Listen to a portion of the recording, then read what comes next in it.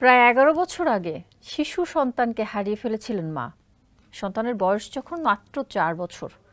এক যুগেরও বেশি সময় ধরে বুকে বয়ে বেড়াচ্ছিলেন সন্তান হারানোর বেদনা।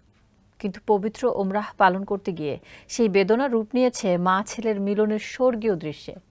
সিরিয়ার যুদ্ধের মধ্যে শিশুটিকে হারিয়ে ফেলেছিলেন তার মা। হয়তো ভাবেননি হারানো সন্তানকে আর ফিরে পাবেন। কিন্তু পবিত্র রমজান মাসে ওমরাহ পালনে গিয়ে মহা আনন্দের দেখা পেলেন তিনি। মা ছেলের দীর্ঘ বিচ্ছেদের পর যখন দেখা হয়, তখন সৃষ্টি হয় এক স্বর্গীয় দৃশ্যের। সেই দৃশ্য ক্যামেরাবন্দি করে অনেকে প্রকাশ করেছেন সামাজিক যোগাযোগ মাধ্যমে। বিস্তারিত শফিকুল ইসলাম শান্তর প্রতিবেদনে। এভাবেও ফিরে আসা যায়। ছোট্ট এক জীবনে অপেক্ষাটা দীর্ঘ এগারো বছরের। অবশেষে মায়ের কোলে ঝাঁপিয়ে পড়া।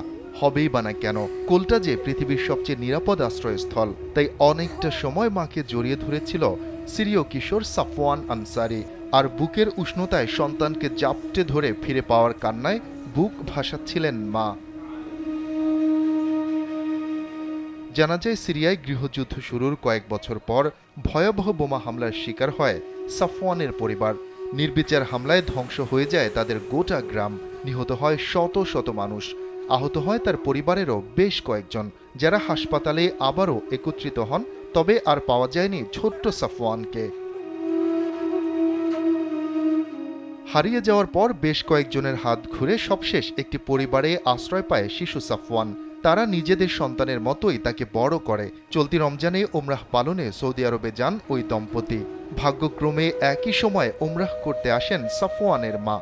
সেখানে নাটকীয়ভাবে দেখা হয় তাদের।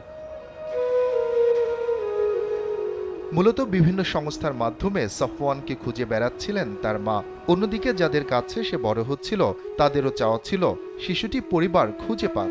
এজন্য তার ছবি ও তথ্য বেশ কিছু সংস্থার ওয়েবসাইটে দিয়েছিলেন তারা। সংস্থাগুলো যখন মা ছেলের পরিচয় শনাক্ত করতে সক্ষম হয়, তখন উভয় পরিবারই মক্কায় ওমরাহ পালন করছিলেন।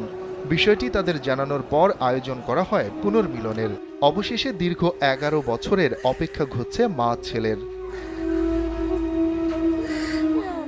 শফিকুল ইসলাম শান্ত কাল বেলাডেস্ক